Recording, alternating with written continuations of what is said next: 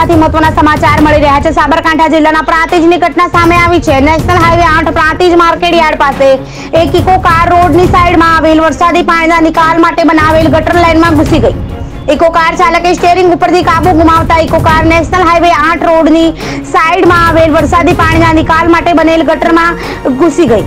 Eco car ગટર લાઈનમાં ઘૂસી જતા ઇકો કારનું પાછળનું ટાયર પણ ફાટી ગયું. પ્રાંતિજના સિતવાડાના કાર ચાલક અને ભાણેજનો આ વાત બચાવ. ઇકો કાર વરસાદી પાણી માટે બનાવેલ ગટર લાઇનમાં ફસાઈ જતા ક્રેનની મદદથી કારને બહાર કાઢવામાં આવી છે.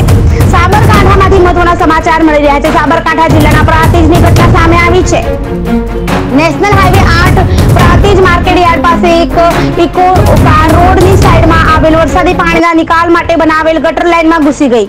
ઇકો કાર ચાલકે સ્ટેરિંગ ઉપરથી કાબુ ગુમાવતા ઇકો કાર નેશનલ હાઈવે આઠ રોડની સાઈડમાં આવેલ વરસાદી પાણીના નિકાલ માટે બનેલ ગટર લાઇનમાં ઘૂસી ગઈ. ઇકો કાર ગટર લાઇનમાં ઘૂસી જતા ઇકો કારનું પાછળનું ટાયર ફાટી ગયું. પ્રાંતિજના સિતવાડાના કાર ચાલક દાદા અને ભાણેજનો આ બાદ બચાવ ઇકો કાર વરસાદી પાણી માટે બનાવેલ ગટર લાઇનમાં ફસાઈ જતા ક્રેનની મદદથી બહાર કાઢવામાં આવી છે.